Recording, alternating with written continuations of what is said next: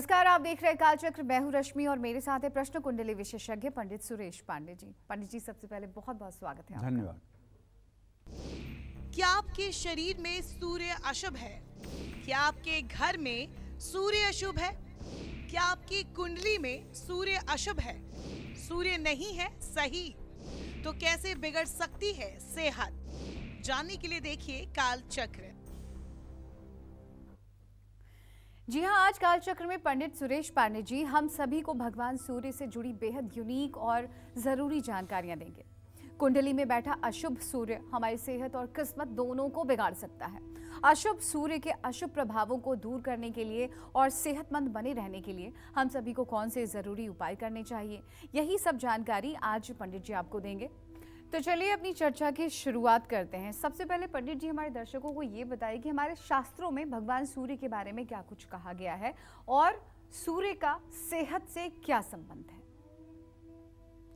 देखो, सूर्य के बारे में शास्त्रों में तो बहुत कुछ कहा गया है। सूर्य बिना तो संसार की कल्पना ही नहीं हो सकती है। चंद्रमा मनसो जात चक्षो सूर्यो अजायत। श्रोता द्वायुश्च प्राणश्च मुखादगनीरजायत। एक तरह कहते हैं कि चंद्रमा मनसो जाता है। चंद्रमा मन का कारक है, चक्षो सूर्यो अजायत और आँखों का प्रतिनिधित्व सूर्यदेव करते हैं। और दूसरी तरफ़ महर्षि पाराशर क्या कहते हैं? वो कहते हैं, शुक्रो शुक्रश्च तथा नेत्रम चंद्रमा मनसस्तथा। शुक्र जो है नेत्र का कारक है और सूर्य आत्मा का कारक है। आत्मा का कारक सूर्य अगर है तो आत्मा से बढ़कर के क्या है? इसलिए कि आत्मा तो हर समय परमात्मा के संयोग में रहती है। जीवात्मा और आत्मा दोनों हमारे शरीर में हैं। जैसे एक वृक्ष पर दो तोते बैठे हों। एक तोता फल को कुतुर कुतुर कर खाने में व्यस्त हो और दूसरा तोता उसको केवल देख रहा हो। कि देखो ये कितना विषय भोगी है, किसी में एकदम लिपटा हुआ है। वो उसको तटस्थ होकर के देख रहा हो। द्वा सुपर्णा सयुजा सखाया, समान वृक्षे परिसस्व जाते ये हमारे यहाँ उपनिषद का वाक्य है। द्वा सुपर्णा सयुजा सखाया, समान वृक्षे परिसस्व जाते तो काम, क्रोध, मद, मोह, लोभ, मत्सर, ईर्ष्या, द्वेष में एक तोता उसी फल में आकृष्ट हुआ रहता है। और दूसरा उसको अनमयस्क दृष्टि से देखता है और उस तोते की तरफ़ भी ये तोता नहीं देखता है, जो विषय भोगों में आ सकता है। उसी तरह से हमारी जो जीवात्मा है, ये विषय भोगों में इतना रमी हुई है कि ये आत्मा की तरफ़ देखने का प्रयास ही नहीं करती है, क्योंकि आत्मा का कारक सूर्य है। और इसके बारे में हमारे शास्त्रों में कहा गया है, प्रातर स्मराम हृदय संस्फुरदात्म तत्व सच्चित सुखम परमहंस गतिम तुरीयम यत स्वप्न जागर सुसुप्तिमवैति नित्यम तद्ब्रह्म निष्कलमहम न च भूत संग हम, मनुष्य जो है, नष्ट होने वाला संघात नहीं है। शरीर उसका नष्ट होता है, आत्मा नष्ट नहीं होती है। और आत्मा में ईश्वर का हर समय वास होता है। तो जब जीवात्मा परमात्मा का साक्षात कर लेती है तो यही जीवन की सबसे बड़ी श्रेष्ठ उपलब्धि मानी जाती है। तो मैं कहना ये चाहूँगा, जपा कुसुम संकासम काश्यपेयम महादुतिम तमोवरिम स्वरूपापघनम प्रणतोस्मी दिवाकर सूर्याय नमः। आकाश में सूर्य सबसे शक्तिशाली ग्रह है। पृथ्वी से सूर्य की दूरी 18 करोड़ किलो 15 करोड़ किलोमीटर दूर है। 15 करोड़ किलोमीटर पृथ्वी से सूर्य की दूरी है। और जब उसकी गर्मी इतना यहाँ महसूस होती है तो जहाँ से सूर्य है, वहाँ की स्थिति क्या होगी आप सोच सकते हैं। रोग शास्त्र में सूर्य को रोगों का वाहक और रोगों का निवारक दोनों माना गया है। सूर्य को गर्म और शुष्क प्रवृत्ति का माना गया है। सूर्य क्रूर ग्रहों की श्रेणी में आता है। पहले तो मैं अपने दर्शकों को यही बता दूँ कि ये जो नौ ग्रह हैं, इनकी संज्ञा क्या है? तो एक बात जान लीजिए, सूर्य और मंगल, ये दो क्रूर ग्रह हैं। और चंद्रमा, बुध, बृहस्पति और शुक्र, ये चार ग्रह शुभग्रह हैं। शनि, राहु और केतु, ये तीन ग्रह पापक ग्रह हैं। तो अगर हम कहीं कहें कि कुर ग्रह तो आप समझ जाइएगा कि सूर्य और मंगल के बारे में बात कर रहे हैं। अगर हम कहें पापक ग्रह तो आप समझ लीजिएगा शनि राहु केतु की बात हो रही है। और अगर हम कहें शुभग्रह तो चंद्रमा, बुध, बृहस्पति और शुक्र की बात हो रही है। ये आपका कंसेप्ट क्लियर रहना चाहिए, क्योंकि मुझे पता है, आप बहुत ध्यान से देखते हैं और इन चीज़ों को नोट भी करते हैं। तो कहीं आपके ज्ञान में खलल न पड़े, इसलिए ये बात बताना मैं ज़रूरी समझ रहा हूँ। सूर्य क्रूर ग्रहों की श्रेणी में भी आता है सूर्य अच्छा और मज़बूत शरीर देता है। जिस भी आदमी की लंबाई ज़्यादा होगी, उसके कुंडली में सूर्य ज़रूर अच्छा होगा। और मानव की जो रीढ़ की हड्डी है, जिसको बैकबोन कहते हैं, ये मुख्य रूप से सूर्य से ही प्रभावित होती है। जिनका सूर्य खराब होता है, उनकी रीढ़ की हड्डी में कम उम्र में भी समस्याएँ पैदा हो जाती हैं। और पिंगला नाड़ी पिंगला नाड़ी किसको कहते हैं? बहुत बार मैंने बताया है, एक बार सुनिए। दाहिनी नाक से जो श्वास चलती है, इसको कहते हैं पिंगला नाड़ी। और बाई नाक से सांस जो चलती है, इसको कहते हैं ईड़ा नाड़ी। दूसरा नाम भी बताऊँ? तो बाई नाक से सांस जब चलती है तो इसके, इसको कहते हैं गंगा। और दाहिनी नाक से जब सांस चलती है तो इसको कहते हैं जमुना। और जब दोनों एक साथ सांस चलती है तो इसको कहते हैं सरस्वती। अब आप समझ गए होंगे। ईड़ा पिंगला गंगा जमुना सरस्वती। तो पिंगला नाड़ी माने दाहिनी नाड़ी का प्रतिनिधित्व कौन करता है? सूर्य करते हैं। सूर्य को जीवन दाता और जीवन पालक कहा जाता है। मत्स्य पुराण के अनुसार, आरोग्यम भास्करा दिचक्षते, सूर्य अच्छा स्वास्थ्य प्रदान करने वाला है, ऐसा कहा गया है। और सूर्य नमस्कार के भी अपने लाभ हैं। ऋग्वेद के अनुसार उगते हुए सूर्य की पहली किरण हृदय रोग, पीलिया, एनमिया और यहाँ तक कि रोमेटिक अथराइटिस को भी ठीक करने की क्षमता रखता है। लेकिन उगते हुए सूर्य की किरणें अगर शरीर पर पड़ें तो। इसी प्रकार से अथर्ववेद में भी सूर्य की इन किरणों को हृदय से संबंधित बीमारियों और एनीमिया जैसे रोगों से ग्रस्त व्यक्ति के लिए बहुत लाभकारी माना गया है। सनातन धर्म के अनुसार, देखिए अब ये मत कहिएगा कि पंडित जी सूर्य तो एक जगह स्थिर है और आप कह रहे हैं कि सूर्य घोड़े पर चल रहा है। भाई, मेरे धर्म की मान्यता है ना? वो बात मैं आपसे कह रहा हूँ। मान्यता हमारे धर्म की ये है कि सूर्य अपने सात घोड़े वाले रथ पर सवार होकर आकाश में पूरब से उदय होकर पश्चिम की ओर गमन करते हैं। सूर्य रथ के ये सात घोड़े इसकी सात प्रकार के किरणों के समान हैं।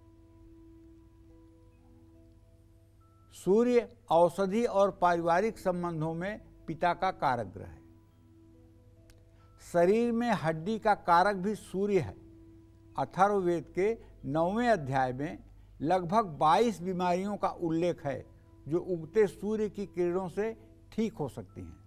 अथर्ववेद में लिखा गया है कि सूर्य की किरणों में रहना अमृत के संसार में रहने के समान है। ऋग्वेद में भी इस बारे में यही कहा गया है। सूर्य की किरणें प्राणियों को लंबी आयु प्रदान करती हैं। तो एक बात तो ये जान लीजिए कि जिसकी जन्म कुंडली में सूर्य अच्छा होगा, वो निश्चित रूप से बहुत आत्मबली होगा। आत्मबली का मतलब मैं ये कहना चाहता हूँ कि उस व्यक्ति के अंदर हीन भावना और नकारात्मक सोच स्थान नहीं पा सकती। अब सूर्य अच्छा कहाँ होगा? सिंह राशि में होगा तो अच्छा होगा, मेष राशि में होगा तब अच्छा होगा, तीसरे, छठवें और ग्यारहवें स्थान में होगा तब अच्छा होगा, बाकी जगह पर सूर्य अच्छा नहीं होता है। तो शरीर में सूर्य का स्थान कहाँ है? आप ये भी जानना चाहते होंगे। तो मैं बता रहा हूँ आपको, दाहिनी आँख के ऊपर, दाहिनी आँख के ऊपर ये सूर्य का स्थान है और नाभि पर भी सूर्य का स्थान है, क्योंकि नाभि पर मेष और वृश्चिक राशि का स्थान माना गया है और मेष राशि सूर्य की उच्च राशि है, इसलिए जब सूर्य मेष राशि में रहता है तो ऐसे व्यक्ति का डाइजेशन, हाजमा शक्ति बहुत अच्छी होती है। ऐसा आदमी चाहे जितना भोजन करे, लेकिन बहुत थोड़ा सा मल का त्याग करता है, बाकी सारा अन्न शरीर में जल करके भस्म हो जाता है। और दाहिनी आँख अर्थात सिंह राशि में सूर्य होने पर ऐसा आदमी बहुत बढ़िया ढंग से किसी क्रिया को संपन्न करने की महारत रखता है। जो काम ऐसा व्यक्ति करेगा, कम समय में और बहुत निपुणता के साथ करेगा, उस पर कोई उंगली नहीं उठा सकता। तो इसलिए सूर्य के ये दोनों स्थान हैं। अब आप कहेंगे, सूर्य का तब नीच स्थान भी बता दीजिए गुरु जी कि सूर्य कहाँ रहता है तो सबसे खराब करता है। तो सूर्य अगर हृदय पर स्पार्क करे, माने तुला राशि में अगर सूर्य आ जाए तो क्या होगा? सीने में जलन होगी एसिडिटी की समस्या होगी, बेचैनी होगी, घबराहट होगी। तुला राशि का सूर्य होगा तो चेहरे पर कांति नहीं रहेगी, हर समय आप मुरझाए रहेंगे। तो ये सब बातें होती हैं। देखिए, आज का विषय तो ज़रूर मेरे समझ से इंटरेस्टिंग है। अब से थोड़ी ही देर में मैं आपको बताऊँगा कि आपके घर का वास्तु अगर सूर्य के संतुलन में नहीं है तो कैसे आपके परिवार में रोग बढ़ते हैं और उनको ठीक करने का उपाय क्या है? ये बात ज़रूर ध्यान से आप देखिएगा। जय माँ विंध्यवासिनी पंडित जी आपने खुद ही ज़िक्र किया कि घर का वास्तु अगर सूर्य के संतुलन में ना हो तो रोग का भी निवास हो जाता है। जी, जी. तो इसके लिए वास्तु उपाय क्या है ये हमारे दर्शकों को बताइए। देखो ऐसा है रश्मि दाहिनी आँख मैंने बता दिया सिर बता दिया मस्तिष्क बता दिया हृदय खून रक्तचाप बुखार पित्तजनित रोग और क्षय रोग ये सब सूर्य के अधीन आते हैं। घर में उत्तर पूर्व दिशा में पूजा घर बनाया जाए और पूरब दिशा में ईशान कोण में जो घर बनाया जाए पूजा घर, उसमें खिड़की ज़रूर हो, ताकि सुबह सूर्य की किरणें पूजा घर में ज़रूर आए। और दक्षिण पश्चिम दिशा में भारी निर्माण कार्य कराया जाए। साउथ वेस्ट जो है, उसको ऊँचा रखा जाए, उसको भारी रखा जाए। और भारी सामान रखा जाए। दक्षिण पूर्व में थोड़ी सी ऊँची दीवार होनी चाहिए। इस दिशा में खिड़की या दरवाजे दक्षिण की ओर नहीं होने चाहिए, पूरब की ओर होने चाहिए, ताकि सूर्य की किरणें आपके किचन में आए। ये परिवार के लिए स्वास्थ्य कारक है। पूजा कक्ष का उत्तर पूर्व दिशा में होना सेहत के दृष्टिकोण से बहुत फ़ायदेमंद है। सूर्य अस्त या पश्चिम दिशा से अस्त होता है। इसलिए वास्तु में दक्षिण पश्चिम दिशा में खिड़की, दरवाजे बनवाना निषेध है, जिससे घर में सूर्य की इंफ्रारेड किरणों का प्रवेश न हो। सीढ़ी बनाने के लिए वास्तुशास्त्र में कहा गया है कि सीढ़ी हर समय क्लॉकवाइज चलनी चाहिए, और सीढ़ी या तो दक्षिण दिशा में होनी चाहिए या तो पश्चिम दिशा में होनी चाहिए। इसके कहने का आशय क्या है? पूरब दिशा में क्यों नहीं होनी चाहिए? उत्तर दिशा में क्यों नहीं होनी चाहिए सीढ़ी? इसके पीछे क्या लॉजिक है? इसके पीछे लॉजिक ये है कि जब आपकी सीढ़ी दक्षिण दिशा में होगी तो आप जब सीढ़ी पर चढ़ेंगे तो जहाँ पहली तरफ़ मुड़ेंगे, दाहिनी तरफ़ मुड़ेंगे। दाहिनी तरफ़ मुड़ करके जब आप सीढ़ी पर से ऊपर खड़े होंगे तो सूर्य जिधर से उदय होता है, उधर ही आपका मुँह रहेगा। सूर्य के उदय की तरफ़ आपका मुँह रहेगा। और जहाँ से आपने सीढ़ी से चढ़ना शुरू किया है, वहाँ से सूर्य के उदय होने की दिशा से ही आपने चढ़ना शुरू किया है। क्योंकि जब सूर्य उदय होता है तो उसका गमन पश्चिम दिशा की ओर होता है। तो अर्थात आप हर समय प्रकृति के साथ संतुलन में हैं। और यही अगर पूर्व दिशा की सीढ़ी है तो आप उगते हुए सूर्य की तरफ़ मुँह करके तो चढ़ रहे हैं, लेकिन जब उतरेंगे तो आपका मुँह पश्चिम में रहेगा, अस्त होते हुए सूर्य की दिशा में आपका मुँह होगा, जो वास्तु के लिए हानिकारक है। तो संध्या काल में घर में दीपक जला करके आरती करने के पीछे भी सूर्य से जुड़ा रहस्य है। सूर्य से प्राप्त किरणों से हमें बल मिलता है और प्राण बल भी सूर्य से ही आता है। वर्षा ऋतु में इसलिए हमारे शरीर में सुस्ती, थकान और भारीपन रहता है। आलस्य रहता है। अब दूसरी बात बताना चाहूँगा, आपको कैसे पता चलेगा कि आपकी कुंडली में सूर्य अशुभ है? आपको कैसे पता चलेगा सूर्य आपके शरीर और आपके मन पर अशुभ प्रभाव डाल रहा है? ये सब जानने का तरीका मैं आपको विस्तार से बताऊँगा। बस थोड़ी देर में। जय माँ विंध्यवासिनी। तो पंडित जी, आप लगे हाथ तो बता ही दीजिए हमारे दर्शकों को कि उन्हें पता कैसे लगेगा कि उनकी कुंडली में जो सूर्य है, अशुभ है या फिर शुभ है? और इसका किस तरह से हमारे शारीरिक मतलब शरीर पर प्रभाव पड़ रहा है, मन मस्तिष्क पर प्रभाव पड़ रहा है? देखो, रश्मि, ऐसा है, हर ग्रह जो है, उसका अपना एक स्वरूप है, अपना एक स्वभाव है। पता चल जाता है। अगर सूर्य कुंडली में अच्छा नहीं है तो व्यक्ति के सूझबूझ में कमी आएगी और ऐसे लोगों का आत्मबल बहुत कमज़ोर होता है। ऐसे लोग छोटी छोटी परेशानियों में रायते की तरफ़ फैल जाते हैं और एकदम असक्त हो जाते हैं। मस्तिष्क का जो बायां भाग है और शरीर का जो दाहिना भाग है, ये सूर्य से प्रभावित होता है। सूर्य के अशुभ होने पर शरीर में अकड़न आ सकती है।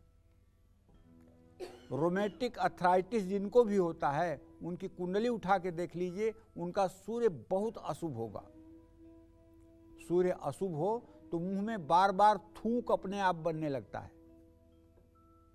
अगर थूक ज़्यादा बनना शुरू हो जाए तो समझ लीजिएगा कि आपका सूर्य कमज़ोर है। सूर्य किसी भी प्रकार के हृदय रोग को दे सकता है। अगर आपके कुंडली में सूर्य बुध की युति है तो जब भी सूर्य बुध की दशा अंतरदशा आएगी तो हृदय रोग से जुड़ी कुछ न कुछ समस्याएँ ज़रूर उत्पन्न होंगी। अशुभ सूर्य के कारण मुँह और दांत के भी रोग हो सकते हैं। बार बार बेहोश होने की तकलीफ़ भी सूर्य के अशुभ होने के कारण ही होता है। सिर का दर्द भी कमज़ोर सूर्य के कारण होता है। सूर्य कुंडली में ठीक न हो तो आत्मविश्वास की बिल्कुल कमी हो जाती है। मैंने देखा है कि जो लड़के एग्ज़ामिनेशन में दस नंबर लेकर के आते हैं, वही लड़के घर पे आके जब पेपर करते हैं तो सौ में सौ नंबर ले लेते हैं।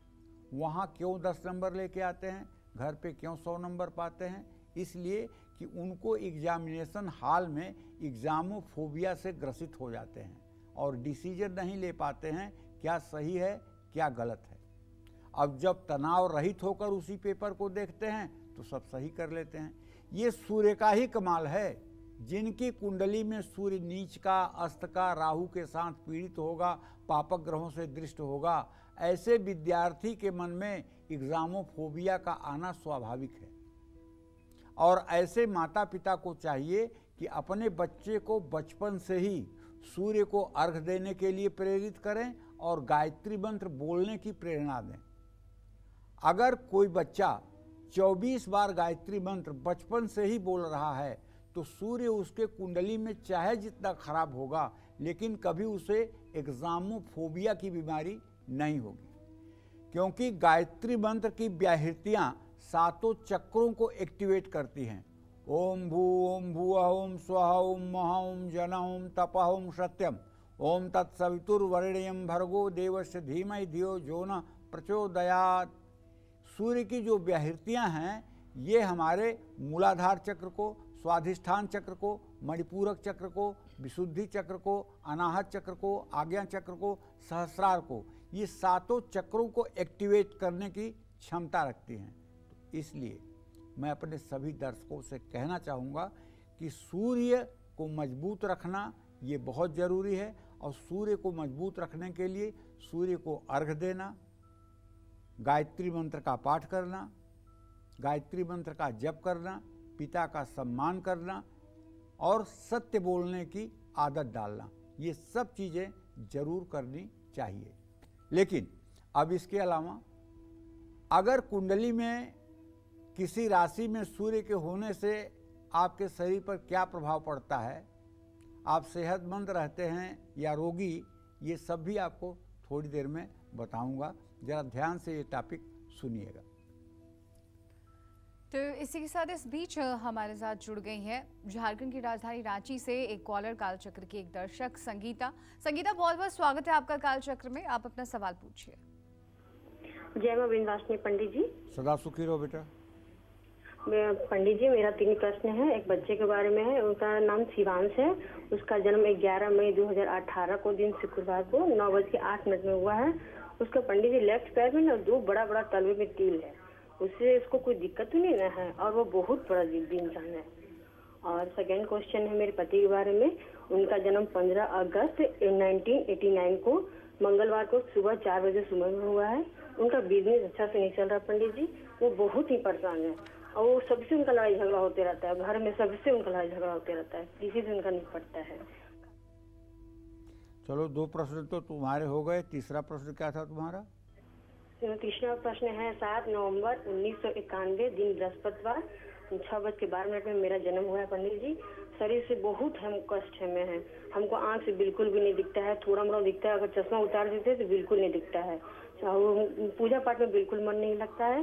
शरीर से कष्ट कम, कम हो इसके लिए हमको उपाय बताइए कि हम कौन सा हफ़्ता में एक दिन फास्टिंग करें ताकि हम अच्छा से रहें और अपने पति के साथ अच्छा से रहें। देखो बेटा ऐसा है मैं सबसे पहले आपके पुत्र के बारे में बताना चाहूँगा। आपके पुत्र भाव का स्वामी बुध है और जो इसके बाएँ कान के पास तिल या लक्षण के निशान हैं इससे आपको कोई डरने की बात नहीं है। लेकिन आपको एक उपाय करना चाहिए। शनिवार के दिन थोड़ा सा काला कपड़ा नया लेना चाहिए। और थोड़े से काले तिल लेना चाहिए।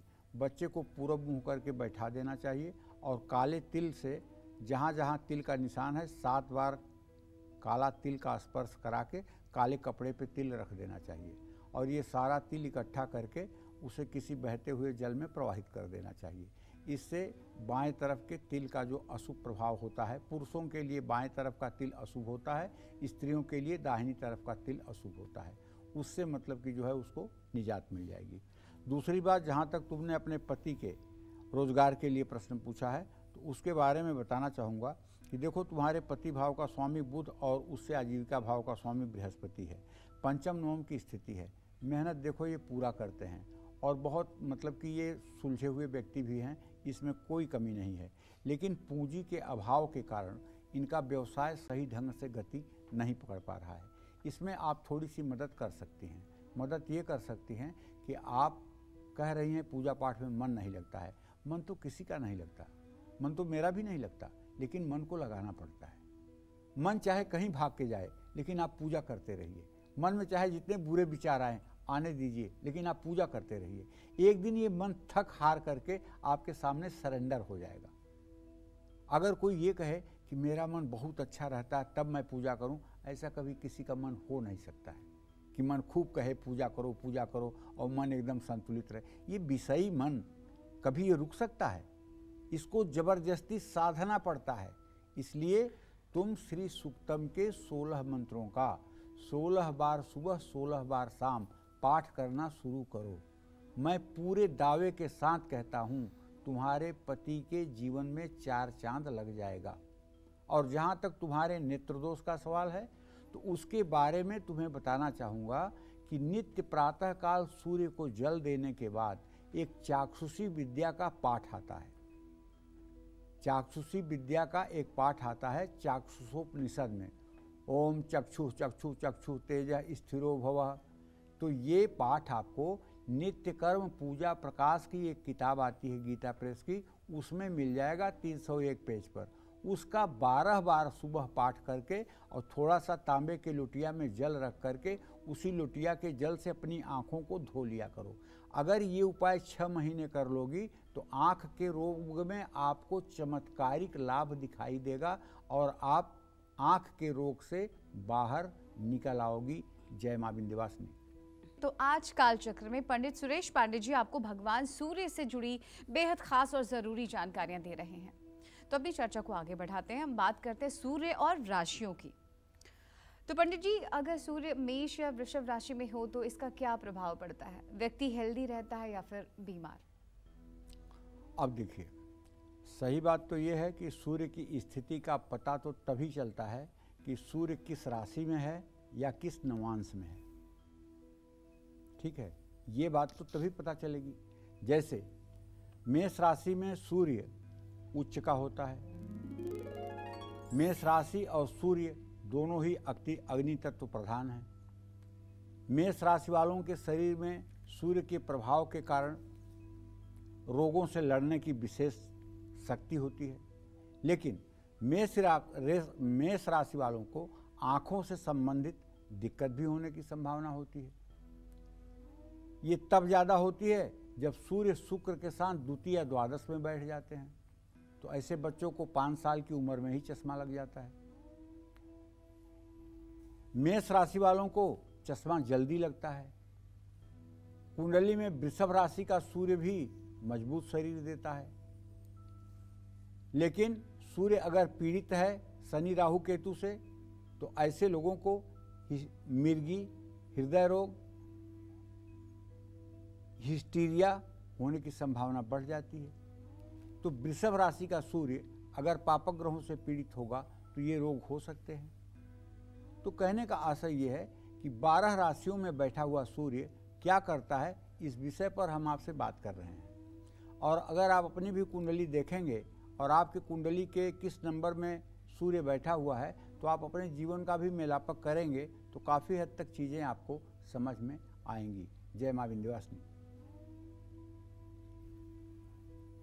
तो कुंडली में मिथुन या कर्क राशि में खराब सूर्य स्थित हो तो इसके किस तरह के परिणाम हो सकते हैं, ये हम जान लेते हैं पंडित जी से। तो पंडित जी बताइए कि इन राशियों पर अगर खराब सूर्य का प्रभाव हो तो फिर किस तरह की बीमारियाँ इन्हें हो सकती हैं?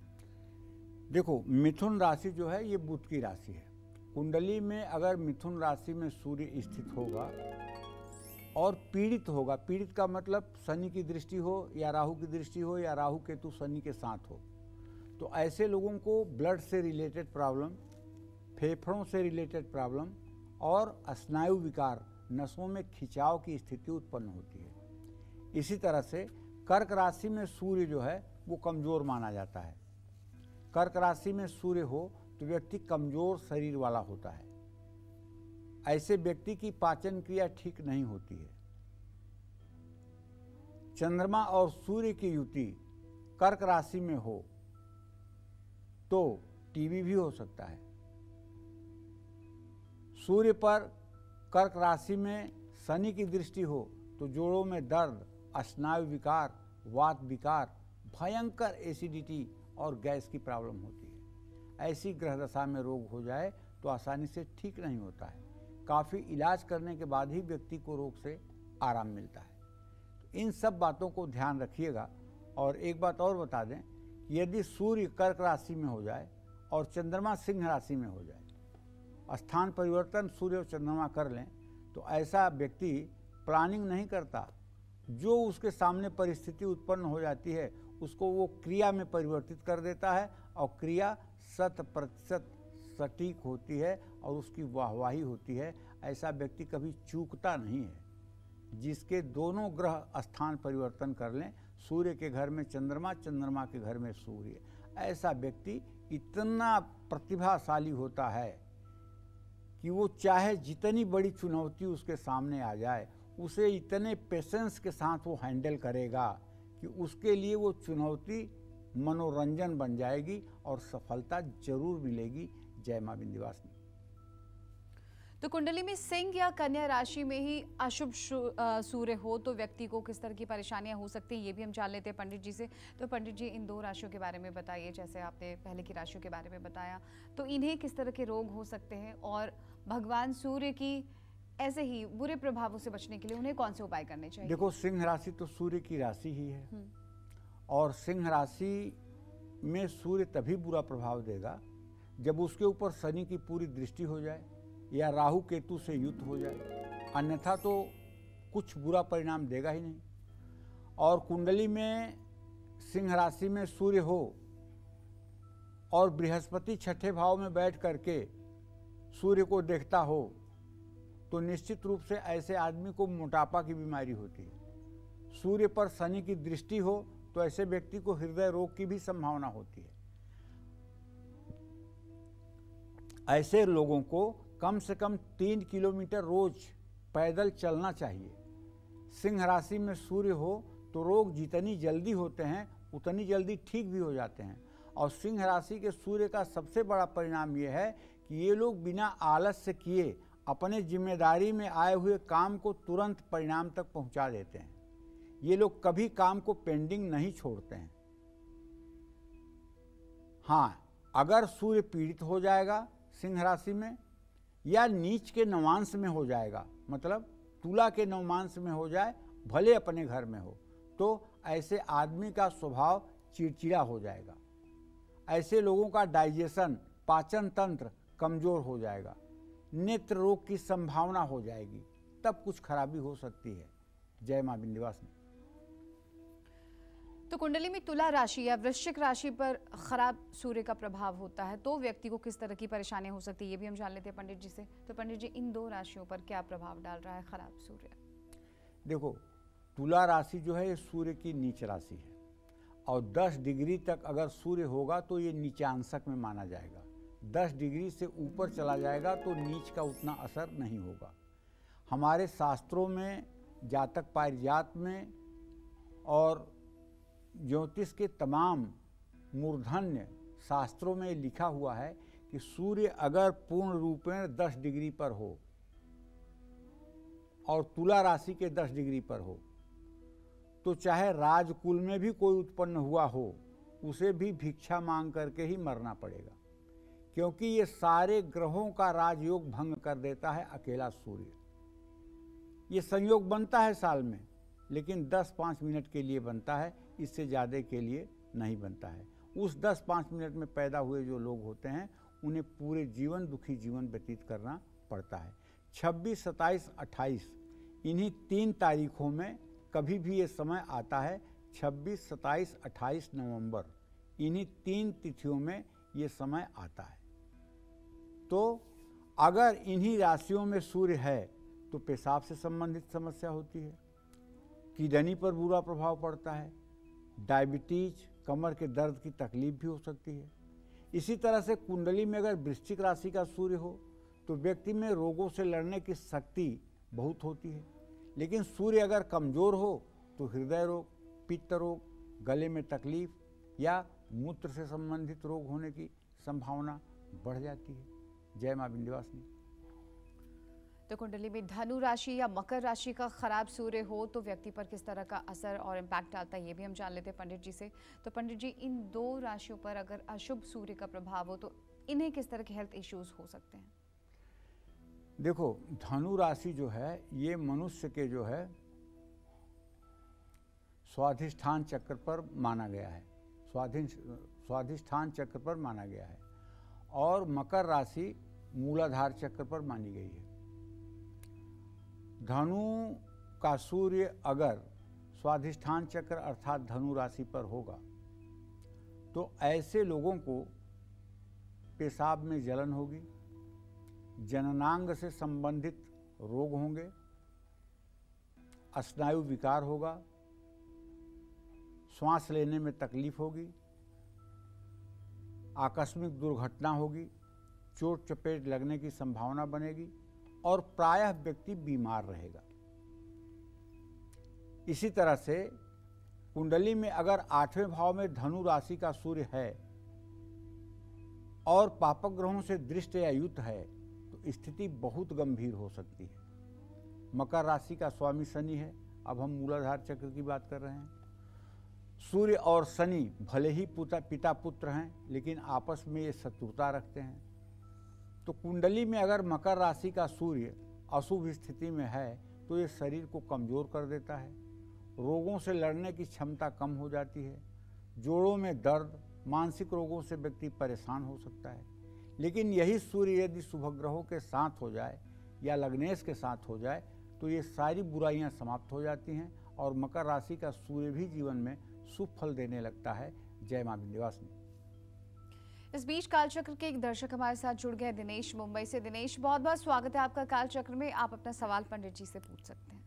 Hello hello hello. जी दिनेश आ रही है आपकी आवाज़। आप अपना प्रश्न पूछिए। हेलो मैं हाँ, पंडित जी कोटि कोटि प्रणाम। मैं बहुत हाँ। सालों से लगा रहा हूँ आज तक।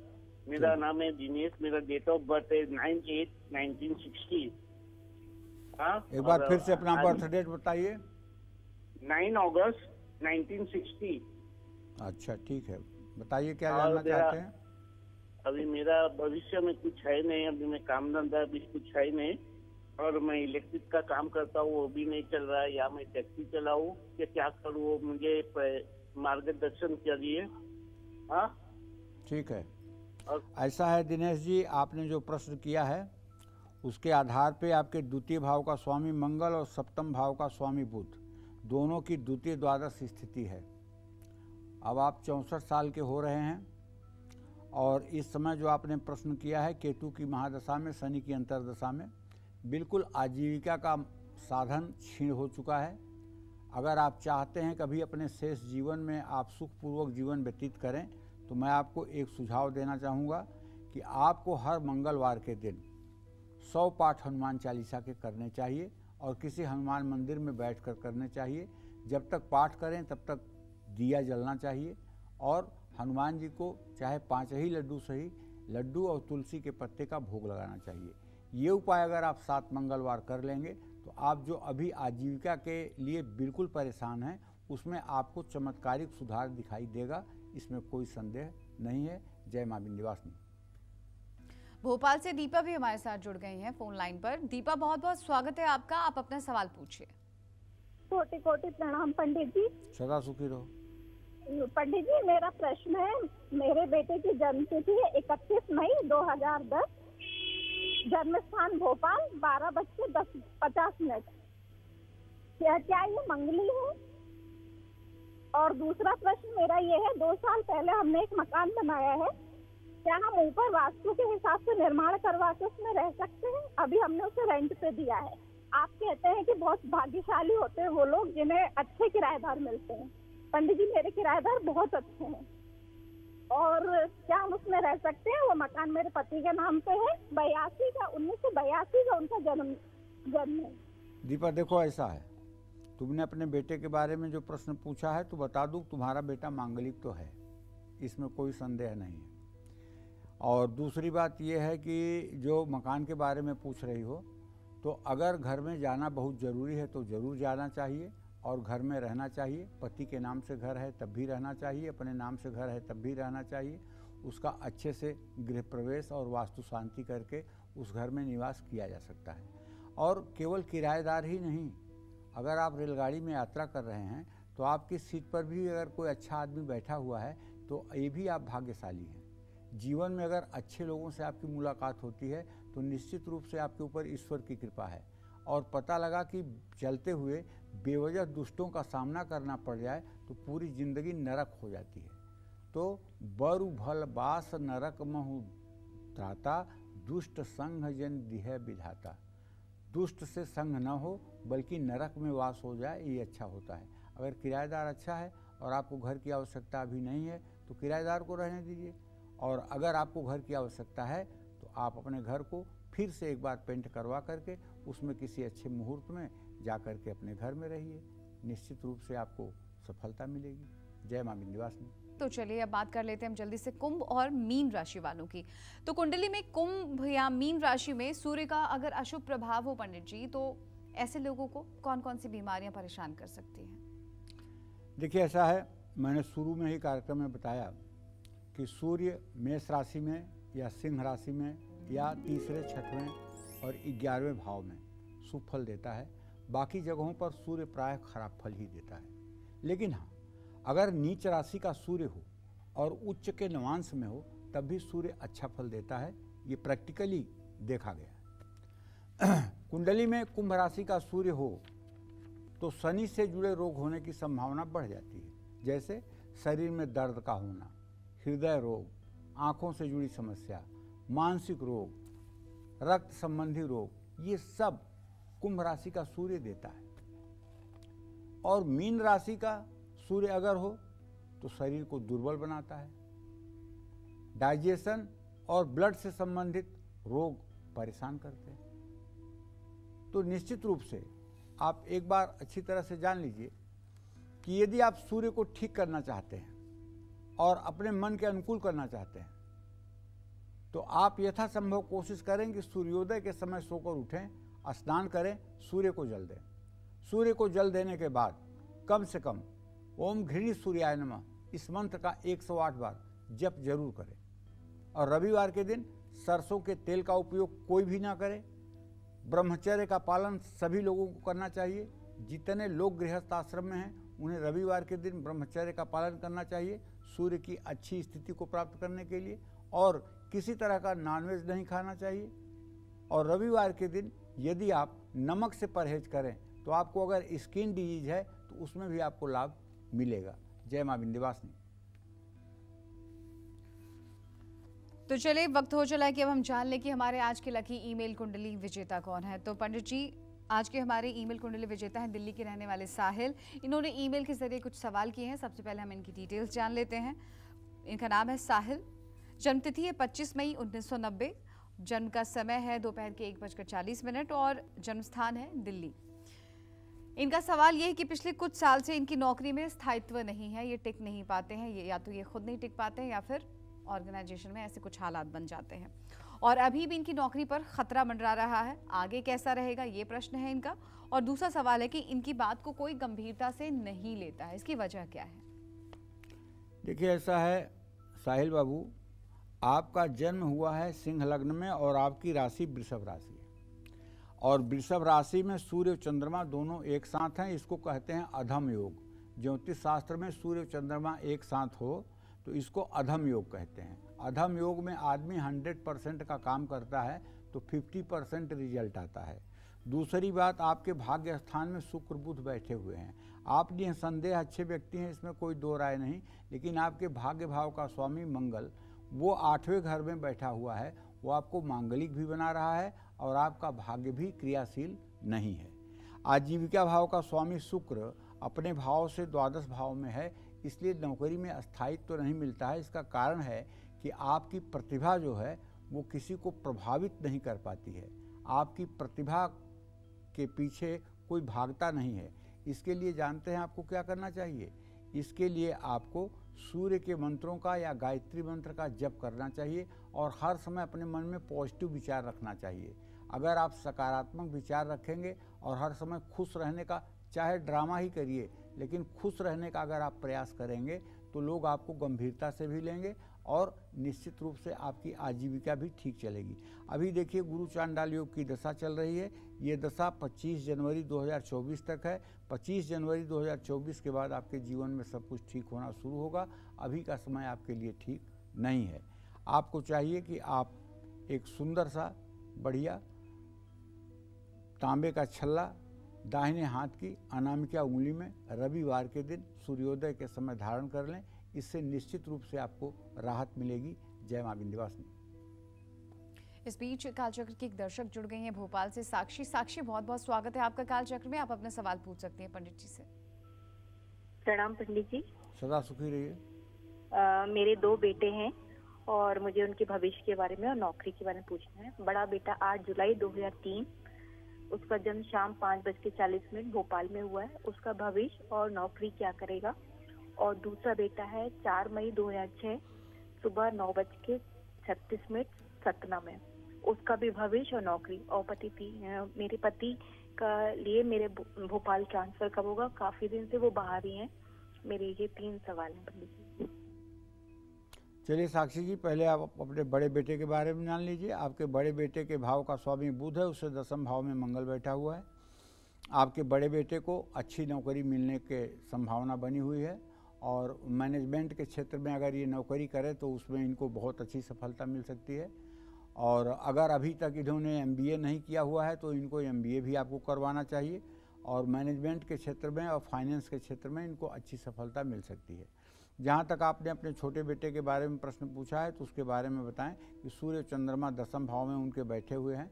उनको रस रसायन औषधि चिकित्सा से जुड़ा काम करना चाहिए। उसमें उनको सफलता मिलेगी। इसमें कोई दो राय नहीं है। जय माँ बिंदवासिनी।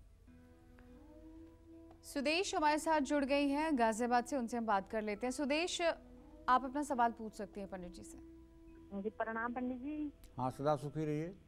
हाँ पंडित जी मैं अपने बारे में पूछना चाहती हूँ। मेरा जन्म है 26 जुलाई उन्नीस सौ इकहत्तर हिमाचल प्रदेश। टाइम है रात के एक एक बजकर तीस मिनट। पंडित जी मैं अपने बारे में पूछना चाहती हूँ। मेरा शरीर हमेशा सारे जोड़ों में दर्द घुटनों में दर्द और हमेशा शरीर में कोई ना कोई परेशानी चली रहती है। गैस एसिडिटी सब बनती है। देखिए ऐसा है। मैं आपको बताना चाहूँगा कि आपके राशि में ही इस समय मतलब कि शनि गोचर कर रहा है। आपको एसिडिटी और गैस की समस्या बहुत ज़्यादा है। और ये आपका रोग नहीं है, बल्कि आपके मानसिक तनाव के कारण ये रोग आपको होता है। मानसिक तनाव अगर आपका ठीक हो जाए एंजाइटी की अगर आप कोई दवा खा लें किसी डॉक्टर से परामर्श करके तो आपको वाद विकार से मुक्ति मिल जाएगी। आप जरा सा भी जब टेंशन लेती हैं, उसी समय आपको ये प्रॉब्लम होती है, इसको आप अपने मन में सोच के देखिए। और टेंशन लीजिए या ना लीजिए, कुछ परिस्थितियाँ ऐसी होती हैं, टेंशन हो ही जाता है। तो ऐसे में मैं आपको बताना चाहूँगा, एक तो किसी अच्छे डॉक्टर से परामर्श करके औषधि लेना चाहिए और दूसरी बात, आपको रोज़ गायत्री मंत्र 108 बार ज़रूर जप करना चाहिए।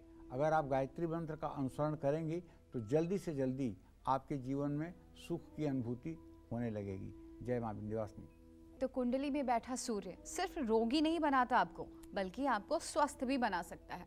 इसके लिए आपको कौन से आसान और अचूक उपाय करने हैं। ये हम जान लेते हैं पंडित जी से। तो पंडित जी, वो उपाय बताएँ हमारे कालचक्र के दर्शकों को, जिससे भगवान सूर्य उन्हें स्वस्थ बनाए। सूर्य को मज़बूत करके सेहत सुधारने के लिए आप कुछ उपाय ज़रूर करिएगा। जैसे घर की पूर्व दिशा के वास्तु दोष को खत्म करिएगा। घर की पूर्व दिशा का वास्तु दोष ये है कि अगर घर की पूर्व दिशा ऊँची है, घर की पूर्व दिशा अगर ऊँची है तो ये बहुत बड़ा वास्तु दोष है। उत्तर और पूर्व दिशा हर समय नीची होनी चाहिए, दक्षिण और पश्चिम दिशा हर समय ऊँची होनी चाहिए। एक बात, दूसरी बात श्री हरि विष्णु या प्रभु श्री राम या प्रभु श्री कृष्ण की उपासना करना चाहिए। और नित्य स्नान करके सूर्योदय के समय सूर्य को तीन बार में जल देना चाहिए। ओम ब्रह्म स्वरूपिणे सूर्य नारायण राय नमः, इस मंत्र को तीन बार बोलते हुए। और रविवार का व्रत रखना चाहिए। रविवार को बिल्कुल सेंधा नमक भी नहीं खाना चाहिए। आदित्य हृदय स्त्रोत, सूर्य स्त्रोत सूर्य अस्तवन सूर्याष्टक, सूर्य कवच, सूर्य मंत्र का जप और गायत्री मंत्र का जप या सूर्य के 108 नामों का पाठ ज़रूर करना चाहिए। सुबह सूर्योदय के समय बिस्तर छोड़कर उठ जाएँ और स्नान करने की आदत डालें। तांबे के गिलास में पानी पिएँ। हर रविवार को गाय को गुड़ और गेहूँ खिलाएँ।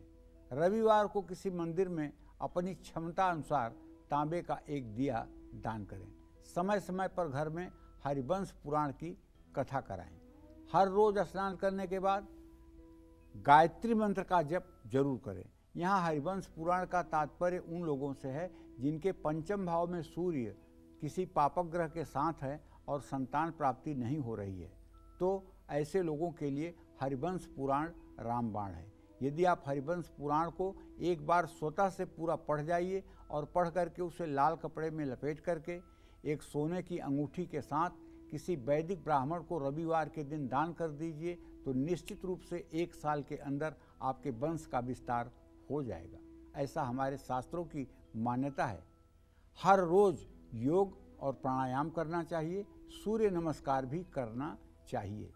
ओम कृष्णेन रजसा वर्तमानो निवेशयन्न मृतं मृतं च हिरण एन सविता रथेन देवो जाति भुवना निपश्यन्न सूर्य का यह वैदिक मंत्र। अगर आप द इकतीस दिनों में इकतीस हज़ार कर लें तो निश्चित रूप से आपके चेहरे की कांति अलग दिखेगी। जय माँ बिंदवासिनी तो पंडित जी आज हमारे दर्शकों को आपने सूर्य से जुड़ी इतनी खास जानकारी दी उसके लिए बहुत बहुत धन्यवाद आपका। तो हम उम्मीद करते हैं कि आपको हमारा आज का विषय बहुत पसंद आया होगा। कल फिर एक नए विषय और आपकी परेशानियों को दूर करने के लिए ढेरों उपाय लेकर आएँगे हम पंडित सुरेश पांडे जी के साथ। तब तक कालचक्र की पूरी टीम को दीजिए इजाज़त। देश दुनिया की खबरों के लिए देखते रहिए न्यूज़ ट्वेंटी नमस्कार।